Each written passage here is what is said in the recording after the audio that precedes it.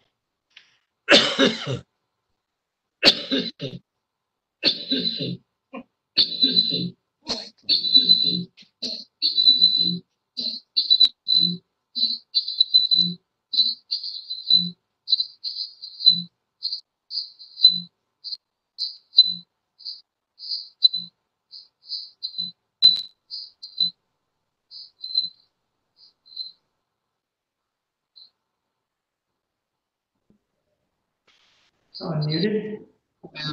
Go ahead. I'm on. You're live. All right. Good evening, everyone. My name is Dave Hammond. I'm the chair of the Stonington Economic Development Commission.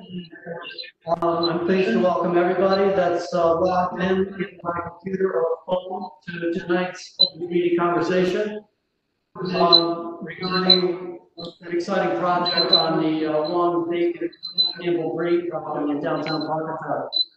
So the EDC has 11 initiatives that we work on. We selected those at the beginning of our year.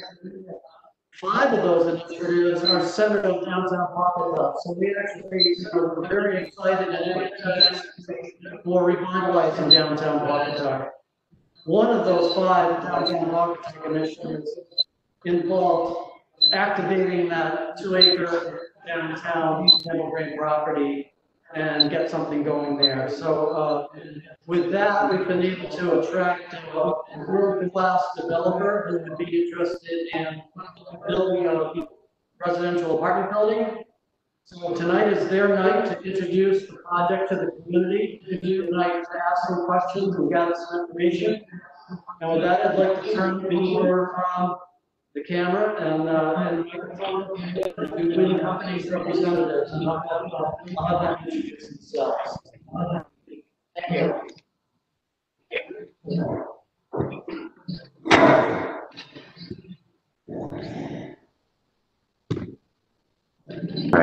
Are you?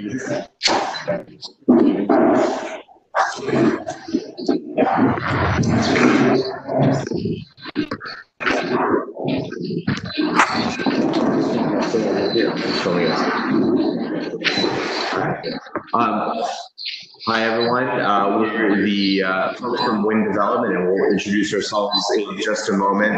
Uh, before we get started, I just want to let everyone know the best way for them to participate in this. Um, so uh, you should see a chat box um, for WebEx.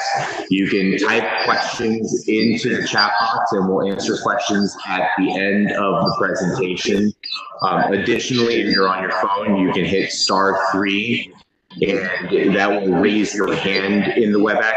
At the end, we'll unmute you if you'd like to ask a question. Um, or you can swing by the Pawcatuck Fire Station immediately after this presentation. From six thirty to seven thirty, we'll be having an open house where you can speak with representatives from our company, uh, questions about the, about the project.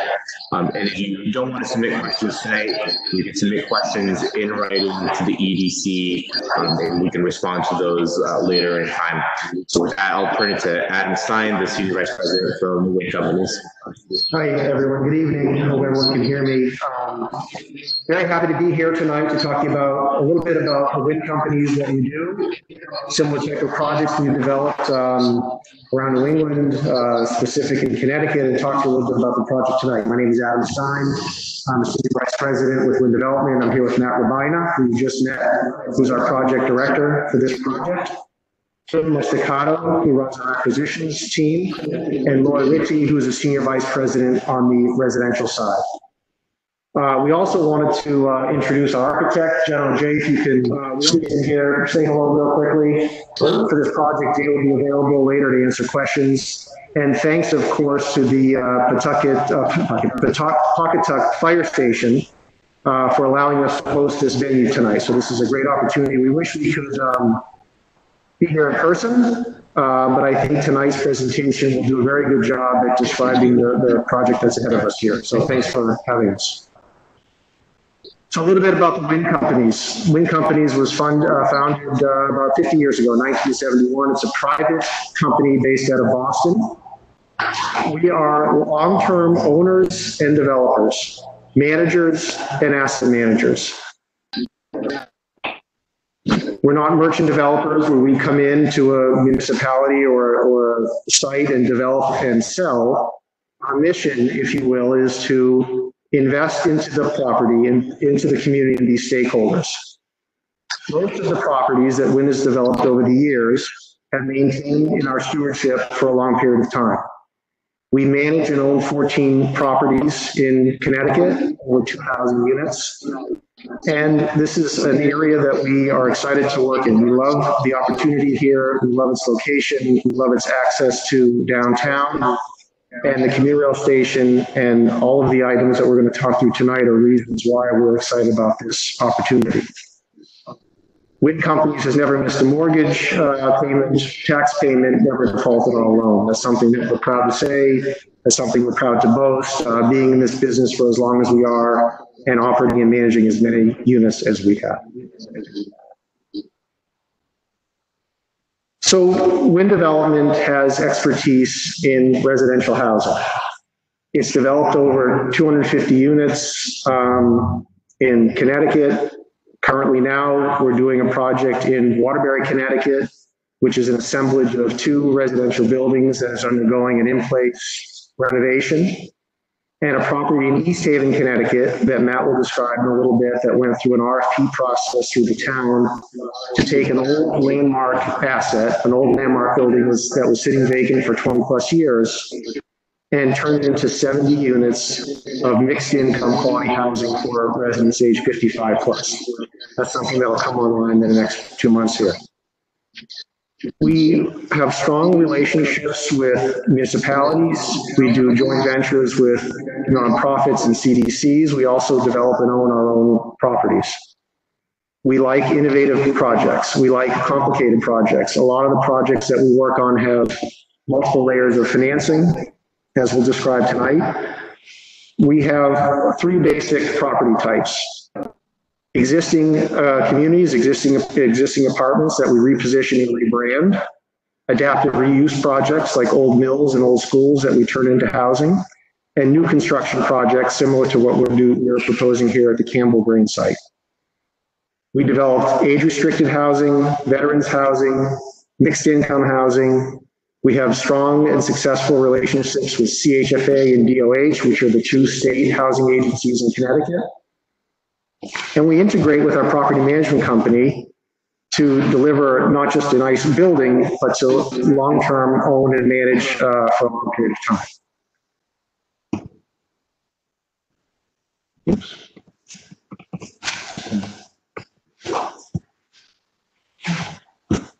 So a little bit about sustainability. This is something that's very important to the Winn companies and I think to a lot of people. on all of our developments, including Campbell Grain, we look at utilizing water conservation measures, energy conservation measures. We incorporate solar programs in a lot of our, not only properties that we manage and develop, but third-party manage as well. We do retrofits, old boilers, old heating systems that we can retro retrofit and upgrade for energy efficiency on, again, the multitude, the multi-family properties that we want to manage. We focus on waste, waste reduction, training, and innovation. And we're proud to say that we're a leader in all types of sustainability efforts on our portfolio. So I don't know, Matt, if you want to talk about some samples of projects, these are samples within, sort of in and around New England that'll give a flavor for the type of development we're proposing here today, so. Yeah, that, that's right. And uh, a lot of this features the work that we've done in Connecticut and some new construction, which uh, informs the, what we're proposing here at the Campbell Grain site. Um, so the first project that we want to talk about is uh, one that Adam just mentioned, uh, the former high school in East Haven, uh, which we're currently finishing construction on, uh, called the Tyler. The project is 70 senior apartments uh, or units for 55 and over households. Um, at that property, we have a mix of income types, which is something that you'll hear a lot tonight in our presentation. Um, so everything ranging from uh, low and moderate income, income restricted units to unrestricted market rate units, which creates uh, an inclusive community. Uh, the project is about $22 million of construction costs and uh, $30 million of total costs. And it's the first project in the country that is, I'm sorry, in Connecticut, that's utilizing both historic tax credits, which are a very, um, a very scarce and uh, specific resources for, for historic structures, and passive house, which is a green energy standard, which really focuses on a tight building envelope, very high energy efficiency, um, and renewable energy on site. Uh, this is going to be the first uh, passive house certified project in the state, which is something that we're really proud of. And we expect to complete the project in September, which is uh, about 45 days from now. Um, we see tremendous interest in this project from the residents of, of East Haven who um, have been really supportive of the project along the way. Um, and just speaking to the, the quality of the kinds of buildings that, that we build, um, we're, we're still not done with construction and are half leased with the property. Uh, people are, are dying to, to move in. Well, the, uh, the next project uh, we want to talk about is a new construction project um, in Quincy, Massachusetts, a 140 unit project called the Watson. Um, a similar theme here that this is a, a, mixed income project. And in fact, in Massachusetts, was, this was the first uh, project of its type utilizing workforce housing dollars um, from Mass Housing, which is the equivalent of uh, the Connecticut Housing Finance Authority, for those of you who are familiar with that. Again, a mix of income levels, unrestricted market rate units, some workforce housing units, some moderate uh, affordable housing units, but all the finishes in all of the units are identical. You can walk into any unit, um, and it could be unit at, any income tier or an unrestricted market tier. Uh, it's, they're indistinguishable. And finally, the Brighton Marine project, um, another new construction project, this one in Boston, Massachusetts, in the Brighton neighborhood. Uh, and this is one where we partnered with the Bright, the Brighton Marine Healthcare Organization. They're a group that serves veterans and provides healthcare and housing services to them. And we located the building on their campus in Brighton, across the street from the MBTA Green Line. Um, again, this is a mixed income housing project. There's a mix of very low income uh, for veterans requiring services, some workforce housing, some unrestricted market rate housing, um, as well as some amenity space in the building. Um, and you'll see something that we all also focus on in addition to the um, the energy efficiency aspect of the project is looking projects locations that are close proximity to transit, um, which is why the the Campbell Grain site is, is such a great opportunity being so close to the Westerly Amtrak station and being located in a dense walkable community. So a little bit about the project that we're proposing, and this is a, a rendering of the project uh, prepared for us by our architects, the architectural team. Uh, the project is an 82 unit rental project uh, located at the former Campbell Grain site right on the Pawcatuck River. Uh, for reference, it's located just behind the Best Eaton, the olive oil store, and the uh, Avaca Woodworking uh, stu- uh, Studio Factory uh, on what's currently a blighted and underutilized parcel of land in central downtown Pawcatuck. Um, and what we've heard is that the, you know, the downtown Pawcatuck and Westerly are, very vibrant, and this parcel has been uh, an eyesore for a long period of time, both when it was a uh, the former grain mill, but ever since the, the building has been knocked down and it's just a vacant parcel of land. Um, so what we're proposing here is something to activate the space and create activity there while introducing new residents who can support the existing businesses in downtown Pawcatuck can utilize the Amtrak station in Westerly and be great event, great assets to the downtown. Uh, as part of the project, we would be uh, leaving the open space along the river open and creating a, a, a walking path there. Uh, we know the town has long-term aspirations to extend the river walk uh, up north past through our property. So we envision that the, this site would be a part of that uh, overall project and we would create a small portion of that directly on our site.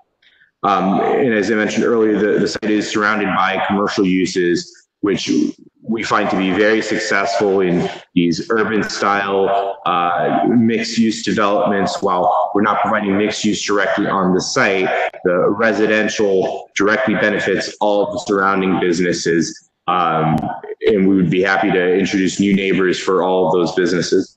The project would be financed using uh, financing from the Connecticut Housing and Finance Authority, CHFA, and the Connecticut Department of Housing, which is a competitive funding source. And we, part of that application requires um, the local support that we've been finding so far in the conversations we've had with neighbors. And uh, we hope that the, the people on this presentation or who stop by later this afternoon for the open house will also be able to lend to the project. Um, and as part of that, we're, we're happy to answer any and all questions you have uh, in relation to the project. So just getting into a little bit more detail about what we're proposing. The 82 units would be a mix of studios, one bedrooms, two bedrooms, and three bedroom units.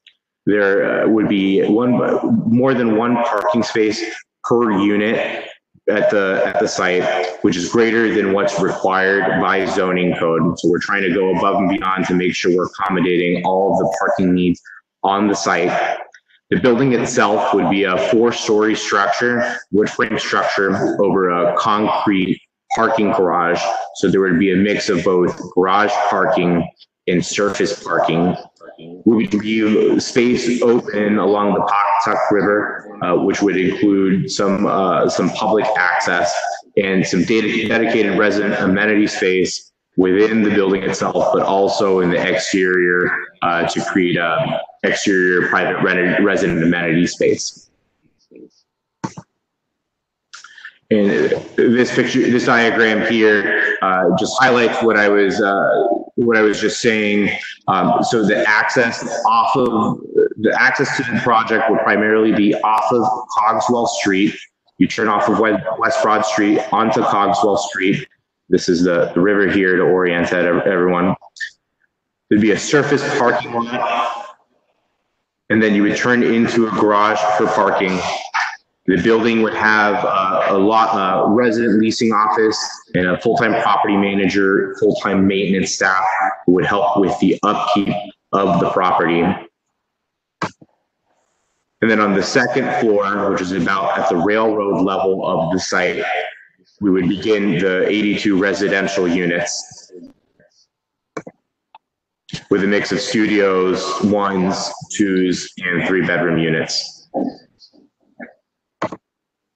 And, these are just several renderings of what the project would look like.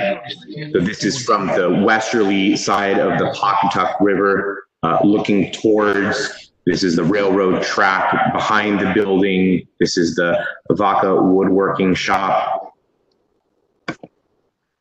This is what it looks like from above the, the Amtrak line. So this is the Amtrak line here, Cogswell Street here, and in the background behind the buildings, West Broad Street. Racco's building. And this is what the property, what the building would look like from approximately, uh, if you're standing in front of Bogues Alley on the corner of West Broad Street and Cogswell Street. Um, as you can see, even though it's a four-story building and the buildings in front of it are smaller, because the lot is set so far back from West Broad Street and Cogswell Street, it's actually very difficult to see the building with the existing structures, with uh, the Best Eaton in particular blocking most of the view. And then during the summer months, the, the leaves on the trees blocking the, the rest of the view. So just a little bit about our timeline.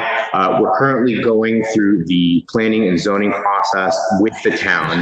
Um, it's really important that we have these kinds of conversations now prior to the formal planning and zoning commissions to make sure that we're uh, listening to all of your questions and concerns and addressing them ahead of time. So we're proposing a project um, that people within the community are, are happy with.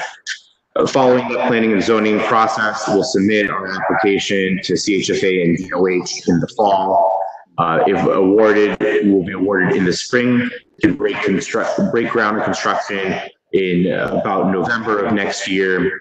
And then we'd be ready for move-in in the spring of 2023. So one of the large components of this project is the fact that it's an inclusive and mixed income program. Um, this is something that is, is fairly unique to the way that Winn develops properties and has been very well received in the other communities that we do work in, um, and has been very successful in terms of uh, creating places that people want to live. So within the building, there will be income restrictions for, for various income tiers, and I can talk a little bit about what that means, as well as some unrestricted market rate units. So within the building, within the 82 units, approximately 30% of the units are unrestricted market rate units. And what that means is anyone who can afford to pay the rent can live within those units. Um, the rents are sized to be uh, targeted to, to market rate renters, and you know, we expect to charge the top of the market rents for these. Um, for a three-person household, it's probably a household income of, of seventy-five thousand dollars. And this is we envision is professionals, high-income earners, two-income households. Um, but within the building, the other seventy percent of the units are tiered for uh, people earning lower incomes than uh, than two professionals with uh, with high income jobs.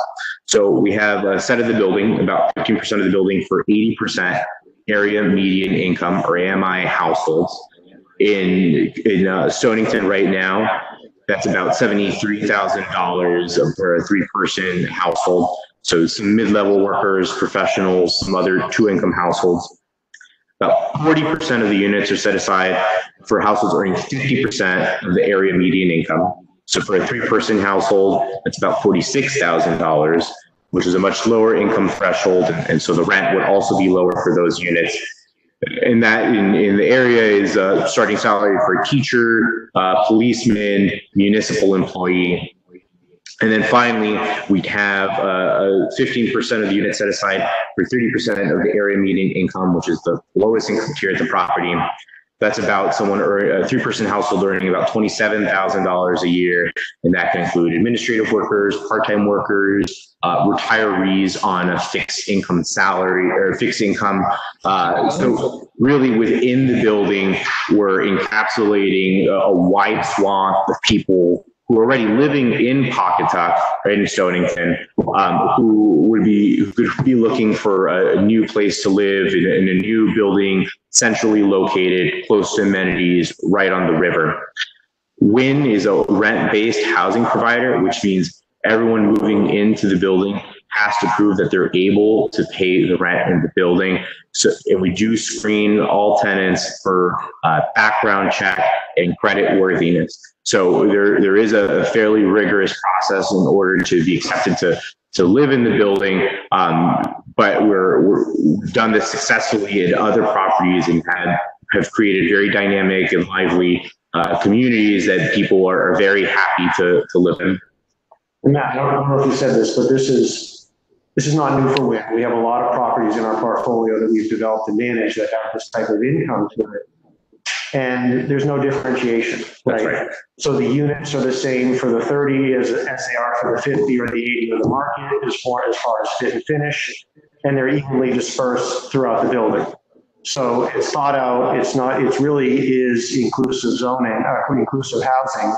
And it's something that we are very familiar and comfortable with and frankly excel. This is really our Andrew expertise. Is on. Um, And this is what we do, and this is what we want to propose at, at the property here. So, um, again, I think this is a very important slide for a lot of the community and residents to see and understand what type of people would be living at this, at this property. And that's it. Actually, I think I lost the, the yeah. So, um, this portion, we can turn it over to the Q and A portion of the presentation. Um, again, just to, to repeat, and we'll, we'll throw some instructions up. Um, if you have any questions, please type them into the chat box feature of the WebEx. Um, you can also raise your hand if you'd like for your mic to be unmuted and we can unmute you for you to ask your question. Or you're participating by phone, you can dial star three to raise your hand and we can unmute you and, and you can ask your question that way. And then finally, um, in about half an hour or so, we'll wrap up the Q and A. We'll move into the main hall of the, of the fire station. Um, and anyone is welcome to come by, speak to us in person from, uh, from six feet away. Uh, and uh, we're happy to just show you additional photographs and pictures of, of what we're proposing um, at the Campbell Grain site. So with that, we'll uh, move to the Q and A.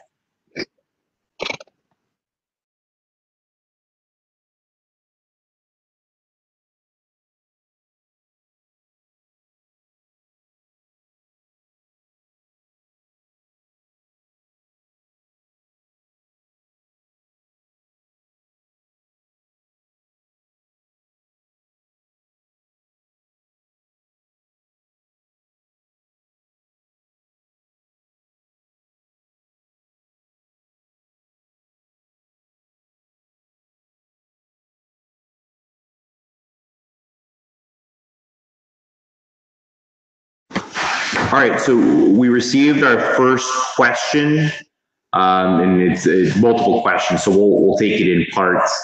Uh, will there be any public parking and what is the size of the public access parking? So there's no public parking on the site. All of the spaces that we're proposing to build are for residents only. There is pedestrian access just along the riverfront. Uh, will, so will Winn build and upkeep the public access and our parking? So we, we would build and maintain our, our own parking. Uh, will release their upkeep and renovation plans to keep up the property and update the property in accordance with their build product lifespan? And, and Lori, so, uh, Lori Ricci is a senior vice president from Winn Residential, which is Winn's property management arm. Lori, do you want to talk a little bit about how we manage properties and how we maintain it um, after we've finished the construction? Yeah, sure.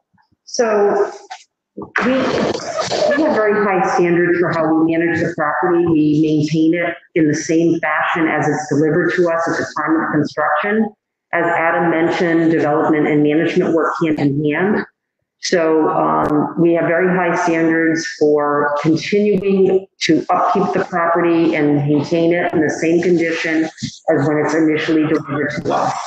of course, over the years, there could be uh, something new that comes out in terms of efficiency or uh, you know, amenity that residents have asked for that perhaps we can evaluate whether or not we enhance the property over time. But at the very least, it is maintained to the same high quality standards as how it's delivered uh, when the, when the property is first introduced to the community. And, and I would echo also too, Adam mentioned this earlier, we are long-term owners, we're long-term holders of our community. We don't, we don't build and develop something and, and then sell it and leave. We intend to, to own and operate the property, you know, for the long term. We've, we still manage the first property that Winn ever developed, uh, to this day, so almost 50 years, uh, to the day. So uh, I think it's, it's important to emphasize that just because we want to be part of the community. We want to take care of the property. We want to be proud of what we developed and own and manage. I think just in closing, the way that we're able to um, become successful with the next, next project is how we manage the last project. So that really um, helps us to um, build a reputation in the community and have the next community or the next project be successful because uh, people in the community can see how we're maintaining the existing project.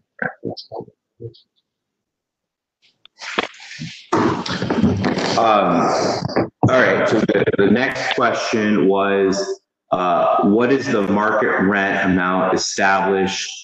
Uh, and will you have any commercial spaces rent now or in the future? Um, so I'll start with the second one. So there's no, no commercial space included in the project. Um, and part of that is the fact that it is a back lot off of West Broad Street. So there's no direct frontage on what's effectively the, the main drag through, through the downtown. Um, we view our project more as supporting the existing commercial spaces that are already in downtown. And we, we want to make sure that our, uh, our commercial neighbors continue to be successful in terms of the market rate space, the, the market rents. Uh, we're working through uh, determining those uh, with our, our leasing consultants, and obviously there will be updated as we get closer to completing the project, which won't be done until uh, about 2023. Um, but the market rents will, will we expect are going to be the top of the market for the area. All right. Uh, the next question is in regards to zoning and uh, variances. Um, so the project is an 830G project.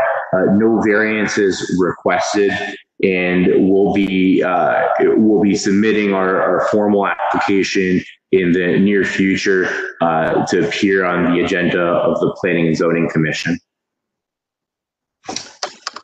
The next question, Matt, was about a traffic study. So we're certainly aware of the traffic. Um, we're taking that into consideration we're undergoing a traffic study now, right? So I think that, I don't have an answer for the signalization, uh, shutting down a bridge, but I think that's something that is very important to us and to the community and something we're looking at, uh, understanding better. That's right. Okay. Uh, the next question was about uh, parking and how the parking on Cogswell Street will be addressed and increases in traffic will be addressed. So as, as Adam mentioned, we're, we've got a planning study underway. I'm sorry, a traffic study underway that's uh, that's looking at the site. The preliminary findings has been that the the new residential structure is it's a minimal impact to the new traffic generation. We are looking at some making some improvements uh, at, at West Broad Street to help ease the flow of traffic turning in and off of Cogswell Street but we're not anticipating any modifications to the parking that's currently on Cogswell Street. In addition, the parking that we're proposing on the site exceeds what's required by zoning in the PV zone, the PV5 zone. Uh, currently, zoning only requires one-to-one parking space for residential buildings. We're actually exceeding that with what we're proposing on the site.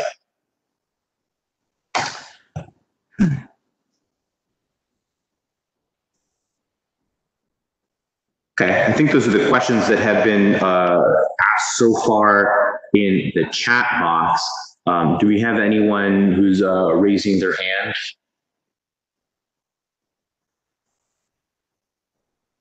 There's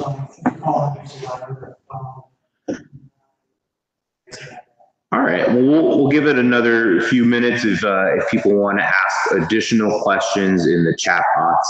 Um, and again, uh, starting at about six thirty, we'll be in the, the lobby of the, the firehouse, uh, taking questions in person.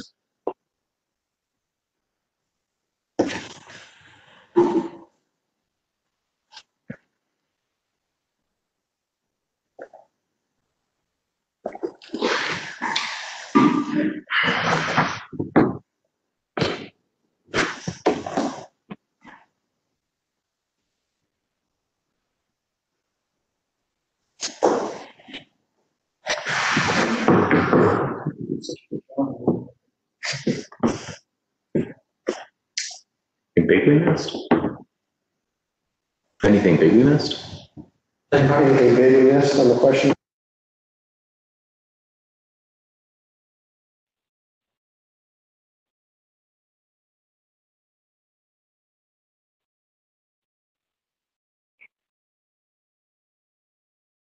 All right, so, so we just received, uh, one additional, um, one additional question, can the appearance of the building be adjusted?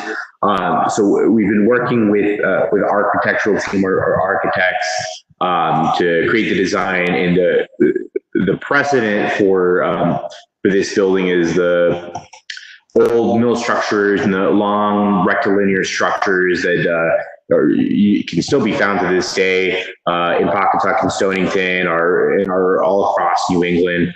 Um, the site itself, um, as many of you may be aware, is pretty challenging given its size. It's about two acres large. Um, and given its shape, so it's a long, skinny, linear, uh, linear site that has some topography or, or height change issues that we're, we're having to deal with as we uh, propose a building here. So the, the appearance of the building um, may change between now and when we submit our formal planning and zoning uh, in the sense that the maybe color scheme might change or, or a material may be swapped out here and there. Um, but the, the building as it appears in the rendering um, is about what we expect it to look like when it's completed. Um, if people have specific uh, questions or comments or concerns about the building design, uh, we're, happy to, to hear those out. Um, but in terms of the, the general appearance, uh, what we're proposing is what we expect to complete.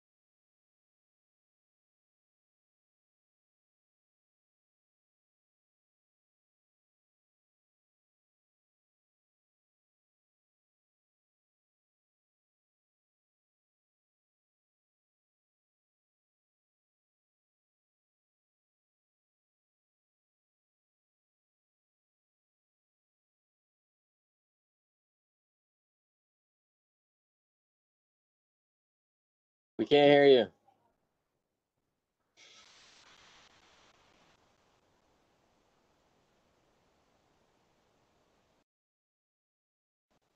I'm unmuted.